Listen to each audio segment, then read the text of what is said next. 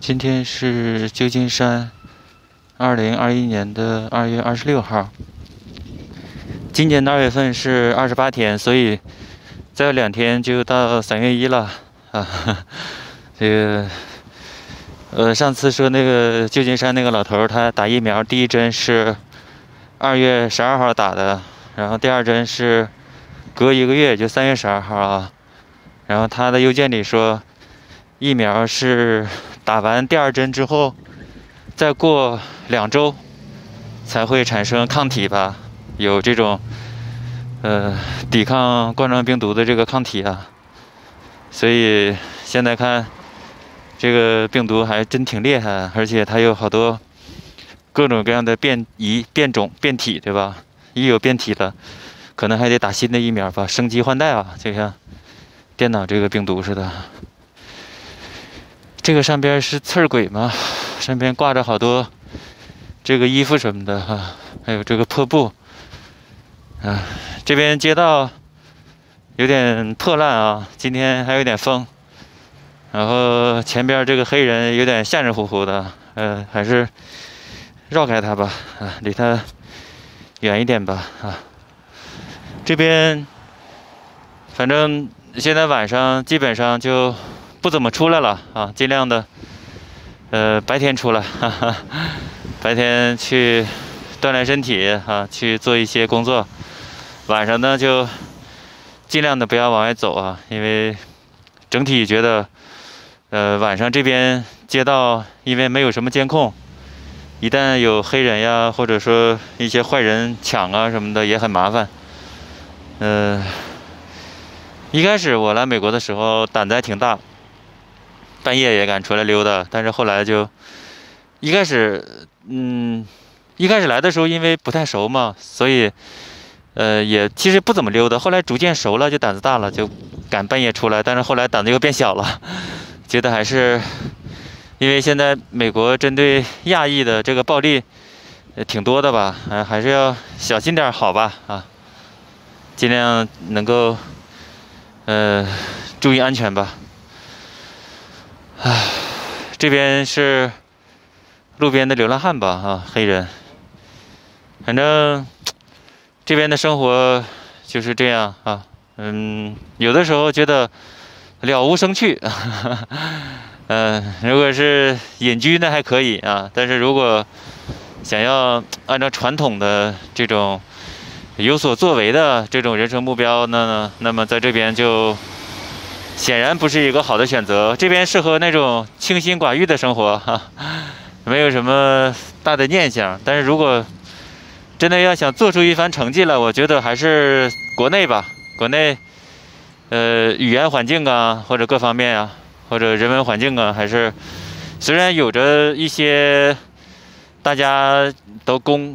是吧？众所周知的一些需要，呃，一些哈关系啊或者什么的，呃，也正常吧啊，就是任何社会形态都没有完美的，但是你总会发现什么样的土壤更适合你吧啊？呃，这边呢，反正就是人们静悄悄的这样活着。华人到这边基本上最后他们的这种人生目标。就是赚钱，哈哈，呃，赚钱买房，然后再有余富的钱呢，就给国内的亲朋好友汇过去，好像也就仅仅此而已了。这边好多事情很难去，呃，那种大张旗鼓的这样的去做啊，呃，或者说大刀阔斧的去做啊，就是没办法吧，就是这样。这边。这个车怎么停在这儿了？车有点堵在这儿了，这边，嗯，一会儿吧。前面有个车在那挡着呢，过不去。旧金山的街道还是比较窄啊，还是比较窄，从这儿走吧。呜，街道比较窄，然后这个城市上面这个电线什么的也挺挺多，挺乱啊。这样，哎，可以过了。这条路好像没有专门的自行车路啊，大家都乱走啊。唉，其实很快人就会意识到什么样的环境是适合自己的。如果你觉得别扭，那么肯定就呃有点问题啊。但是有的时候变着变着就习惯了。像我刚来美国的时候，嗯，好多时候也很别扭，哪儿哪都找不到。但是后来也就习惯了哈。但是。从这个内心最深处，其实还是很难融入的啊，因为华人，他这种家国情怀、家园情怀、故土情怀还是比较重的啊。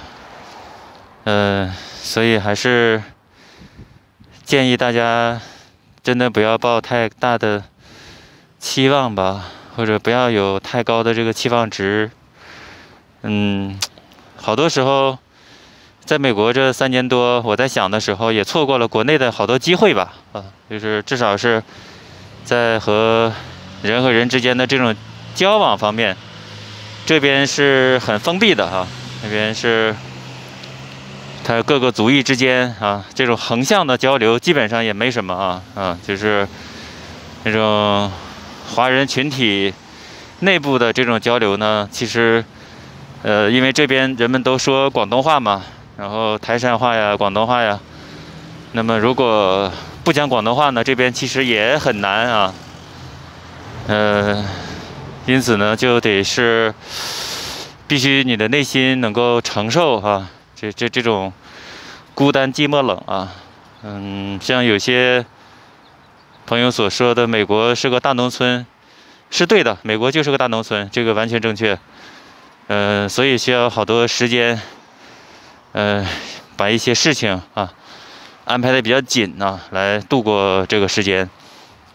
因为早年有些华人来到美国，他们直接就被送到外州的这些餐馆打黑工。外州呢，就指的是除了加州、除了纽约之外的这些州。外州主要华人少嘛，所以工作机会相对多啊，劳动力少。在餐馆打工呢，基本就是与世隔绝。整天在厨房切菜呀、洗碗呀，那么也没有时间去学英语，也没有机会去体验美国所谓的什么自由啊什么的。其实反而是不自由，对吧？就说你来了这之后，直接进了这个饭店后厨这个小黑屋，这种感觉其实挺难受的啊，但是并不舒服哈。呃，所以呢，事实上。有一些华人到后来也弄得疯疯癫癫的啊，就是这么一个情况哈。他不能适应美国这边这种很艰苦的这个状态，尤其是有一些偷渡来的哈，他们他给蛇头好多钱，然后包括有的偷渡来了，刚来了时间不久就被移民局抓到了，就遣返了。那但是蛇头的钱还得给啊，就是人家蛇头只是负责给你。这个肉身给你弄到美国了，至于你在这被被遣返，人家不管。你要不还蛇头的钱呢，那么蛇头往往会威胁你老家的这些人呀。所以也这边华人有不少也挺精神恍惚，然后思想迷失的也挺多哈。这是我的嗯看到身边的一些例子吧，因为在唐人街至少就看到。一二，我看到在唐人街，看到这种迷失在自己的精神世界里的华人，就差不多有四五个吧。啊，有年轻的，也有年龄大的，也有中年的、壮年的。哎，不一样，每个人的命运都不要。这边在外边就餐，人还挺多。每个人的命运都不一样吧。然后早年的他们组织人员。到这边来偷渡，是用货轮啊，用货轮呢，他们直接开到呃美国的西海岸，在那个靠近洛杉矶那边的公海，那边呢就把人一扔啊，然后人呢就往游泳啊，往岸边游啊，嗯，然后有的呢就是反正挺复杂吧，这里头水也挺深啊，不单单是海水深，然后有的甚至是这些蛇头。这头把人从那个船上赶下去，说你们就这到了靠岸了，你自己游吧。然后另一方面呢，就打电话，或者说通过他们的方式向移民局报告。然后移民局的人呢，就派人在岸边拿着毯子、被子呀，什么这种保暖的这些衣物、食物，等着这些人把他们抓走，抓到监狱里啊，然后进行遣返呀，或者说走他们的这个找律师啊这样的，就乱七八糟程序吧，挺乱乎的啊。然后以前。也出过一个什么皇叫什么皇后公主号叫什么号了，在纽约那边死了一些人吧，啊，也是因为当时他们这个靠近海岸的时候被发现了，然后这个蛇头就着急把这人们赶下去，结果赶得太早了，离这个岸边太远啊，有的人就淹死了吧。嗯，后来出了那个悲剧之后呢？然后这种偷渡的情况就减少了，就不太敢了。另外，有些蛇头，他干了几年之后，他钱挣足了就不干了，因为，呃，比方说他这一船拉一百个人，一个人他收一万美元，一百个人就一百万美元，对吧？几次就钱挣差不多了啊，就收手了。反正挺不容易的，在美国这边的华人。呃，咱们有的看到的是风光的一面，但是他背后的这个辛酸，嗯，他不说啊。包括我在国内上传视频的时候，也有美国的朋友提醒我说：“你你那呃，在表述的时候，嗯，最好委婉一点啊，就是不要尽量不要让国内的朋友知道美国这边的特别特别客观的情况啊，因为。”其实华人一般都爱面子嘛，啊，就是想着远走高飞了，那么不想在外面弄得很凄惨呀、不顺心呐，啊，或者不成功啊，往往抹不开这个面子吧，啊。但是其实没有必要啊，呃，人生有的时候是用你的金钱来衡量，有的时候其实我觉得并不是啊，其实靠你的勇气啊。呃，或者你以后年龄大了的时候，老了之后，你可以自以回味的这些经历，我觉得这个是挺值得珍惜的吧，啊，所以我还是觉得年轻人可以呃胆子大一点哈，但是对于年龄大的、身体不好的，那么或者家庭的拖累比较重的，就要加小心啊。嗯，我看一位朋友啊，叫诗与远方，他说，呃，一般国内的独生子女呢，也就是三十五岁之前啊，你可以去自由翱翔啊。那么过了三十五岁的，你的父母也都老了，那么就需要你去独生子女嘛，老哥一个，就需要你去陪伴父母呀。所以这个也挺揪心。但是不管怎么说。每个人就为自己选的道路负责吧。嗯，对了就对了，错了就错了，也没什么。嗯，有的时候说从头再来很难啊，但是只能去退而求其次吧。哈，就是你不能奢求某种社会形态完全符合你的心愿啊，你只能找出其中的一点、两点啊。让你能够觉得值得在这里去坚持啊就好了。然后对于那种外在的东西啊，尤其是物质层面的东西，嗯，其实不一定过于在意啊。当然我们要想办法多挣钱啊，让自己物质物质方面很富足，不至于每天。呃，很苟且的，为了活命，为了糊口去所谓的打拼啊。嗯，但是很难说，真的真的很复杂。现在好多东西你不可以随便的下一个定论啊，你只能呃很灵活的、很动态的去看一些东西。唉，就只能这样。唉，这边反正就是。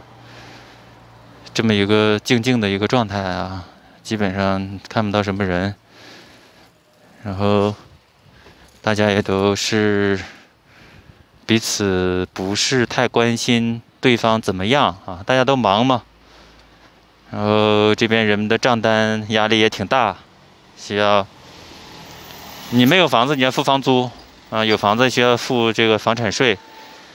然后有的朋友问我每个月需要花多少钱，我记得。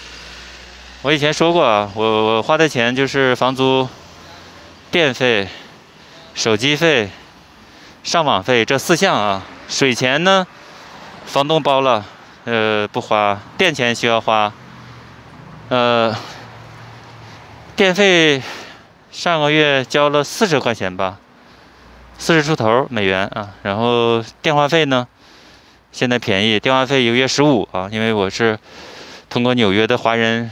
朋友他们，呃，办的这个网络用的是徕卡 Mobile 的那个便宜的套餐啊，也够用，反正。手机费十五，电费四十，然后，呃，还有什么费了？刚才说的，呃，电费四十，手机费十五，上网费对，上网费是四十多，上网费以前是跟那位香港先生对半分，后来是我我三分之二啊，因为我用的比较多嘛。然后他也就是多次的抱怨说这个网速低呀，怎么怎么着？我说那我就多付点吧哈。所以说这么算下来呢，每个月你比如说电费四十，网费四十多，然后再加上手机费十五块钱，毛着算一百块钱吧。就是除了房租之外，呃，就我说这一百块钱指的是每个月必须花的，就是手机费、电费和网费啊，就是。一百美元，然后其他的加上房租就其他没有了，就这样。像有的朋友呢，他们还需要交医疗保险啊，每个月需要扣。以前我有一位同事，他是一个月交三百多美元，然后也有的同事一个月交几块钱的，还有交一百的。朋友啊，有的是同事，有的是朋友，有的是熟人啊，不一样啊。呃，三三三百多一个月的美元，二一百多的。九十多的，还有几块钱的，还有十几块钱都有啊。那是不同的健康计划，有的是有绿卡的，有的是没有绿卡的啊。就是不同的所谓的身份啊，享受不同的这个保险吧。对于拿白卡呢，就不用加不用交钱了。如果拿申请白卡呢，那么就不用交呃医疗保险费了，然后坐公交车也免费。呃，有好多这个福利吧，哈，就是这样。大体就是这么一个情况。这条道，你看它这个街道其实挺破烂的啊，还是老的城市嘛，然后就是这样，没办法，呃路比较窄，比较破啊，然后有些路口没有红绿灯，也没有监控啊，但是没办法，好吧，再见了，拜拜，再见，拜拜，再见，再见，再见，呜 呜呜。